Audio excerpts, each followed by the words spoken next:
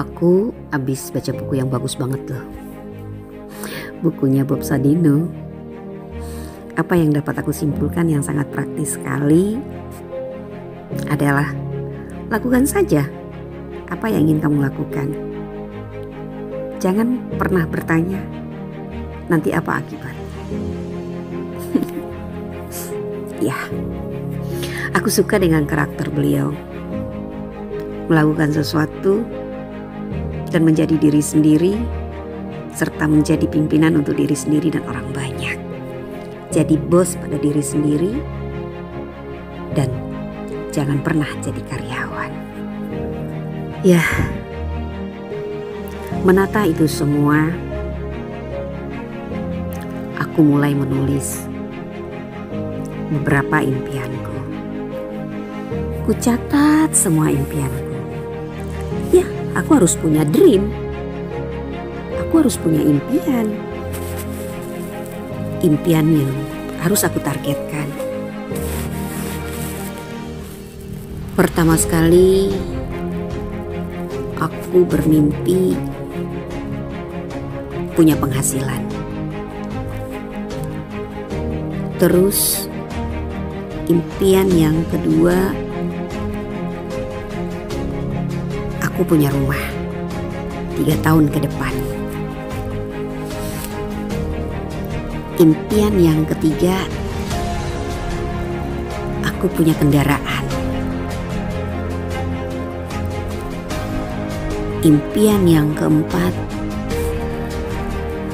aku ketemu gadis impianku. Ya, memang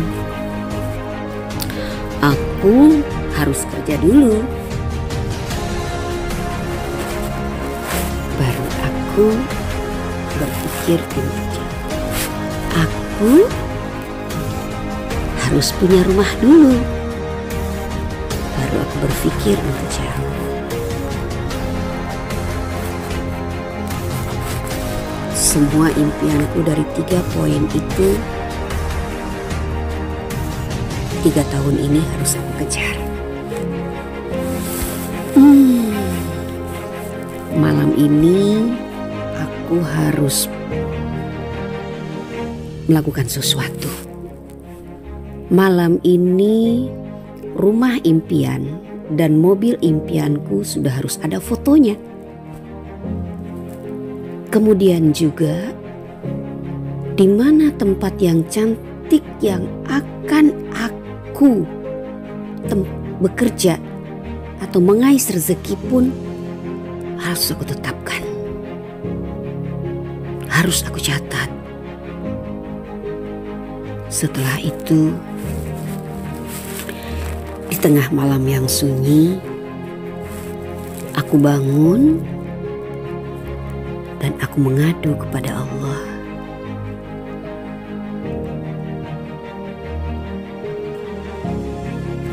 Aku serahkan semuanya kepada Allah Subhanahu wa taala. Bahwa ini impianku.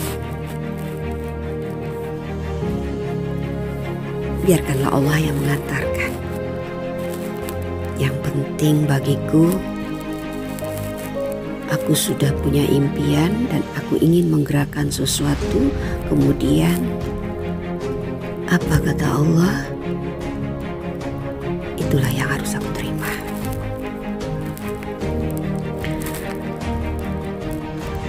Antara melamar kerja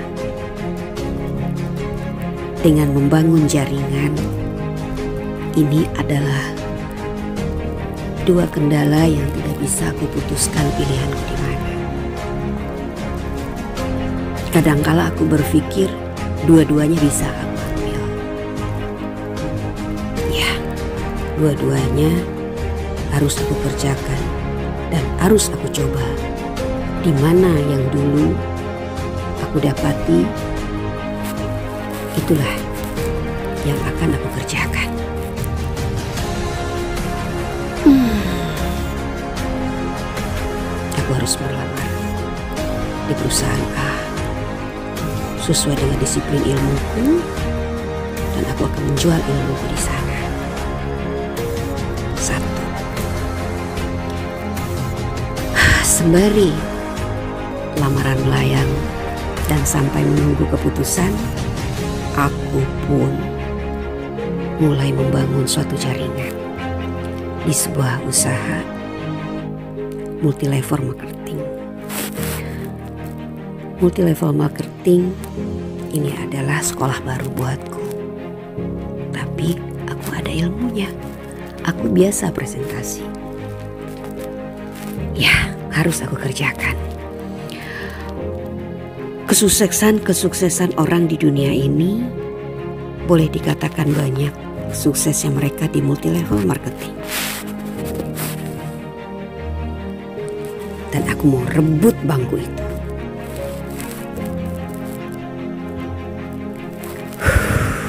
Aku mau rebut itu. Ya, nanti malam aku akan mengadu. Aku siapkan semua berkasku untuk menghadap pada Allah. Mobil impianku, rumah impianku, pekerjaan impianku, dan bisnis jaringan impianku. Dan aku katakan kepada Allah, setelah ini ada di tanganku, tolong kau berikan aku wanita soleha yang bisa hidup berdampingan denganku yang dia adalah wanita kedua dalam hidupku setelah ibu. Ya, itulah yang aku minta kepada Allah. Aku gak mau ribut. Aku gak mau ketemu sama perempuan yang mencemburu ibu. Aku gak mau ketemu sama perempuan yang membatasi aku dengan ibuku. Aku tidak mau sama perempuan yang aku dikuasainya yang ibuku tidak dia hormati. Daripada besok menjadi persoalan, mendingan aku minta kepada Allah. Biarlah Allah yang menggerakkan makhluk-makhluk cantik yang soleha itu datang di hadapan. Ya, pasti akan datang di hadapan. Pasti. Aku yakin itu aku yakin akan kasih sayang Allah kepada aku.